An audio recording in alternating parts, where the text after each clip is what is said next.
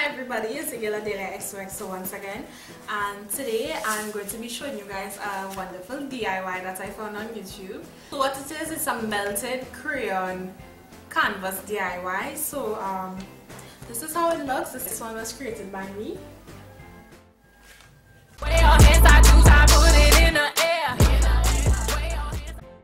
What you need for this DIY. Some crayons, a board or flat surface, a sketch pad or some drawing paper, a blow dryer, definitely, some paints, this is optional, as well as some glue. Now on to making the canvas. So what we're going to be doing is we're going to be using the back of the sketch pad and we're going to be gluing about two to three pieces of paper onto that. This would help us to get a thicker canvas. So now we're on to the fun part, that's melting the crayon.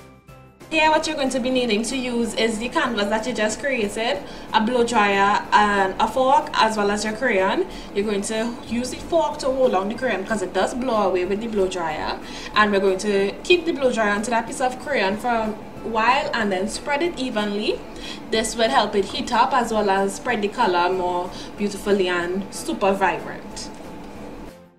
Please, please remember that it doesn't have to be perfect, people.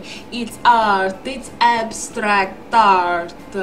You do what you feel, you put crayon where you feel. Rah rah. Hey, I know I forgot to tell you, but make sure you lay down some newspapers on the ground, please. So now I want to add any the paints.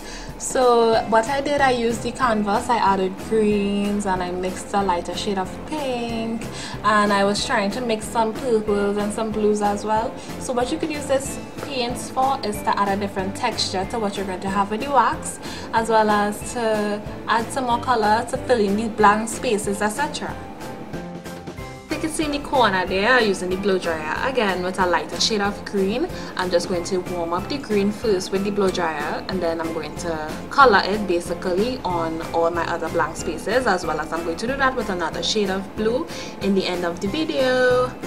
Um, if you all do this project make sure and upload it on the internet and the social media and tag me in it so I really would love to see how yours came out